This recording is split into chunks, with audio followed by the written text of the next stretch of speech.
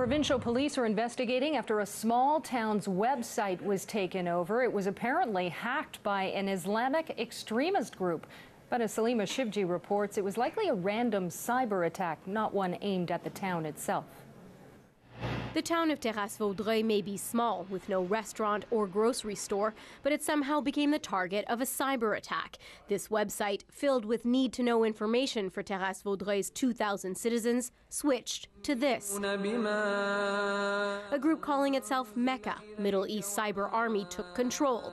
In Allah we trust, the message reads, For Allah we work. Screw you, Charlie Hebdo. Islam is and always will dominate it's something you don't like to happen because you have a feeling of violation. Like, why did they do this? But in my point of view, it's totally at random. The website joins thousands of others that were breached in the days following the deadly attack on French satirical magazine Charlie Hebdo, some even by the same group, Mecca.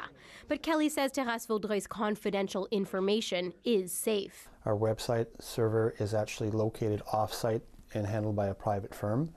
Uh, so there's no way that that breach have, could have gotten into our personal information. It's totally apart. Town officials may say that the attack was random, but some residents aren't reassured. It's very dangerous. It's not good for us, for our community, for our society, and the security of our life is, is a very bad sign. C'est assez, uh, assez troublant.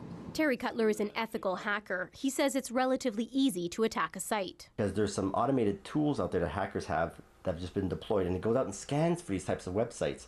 And if they find vulnerability, it automatically goes and attacks it and, and defaces it. He says the town needs to upgrade its software and perform an audit to find flaws on the site, or the hackers will strike again. Town officials say they will look at all avenues to make sure this doesn't happen again.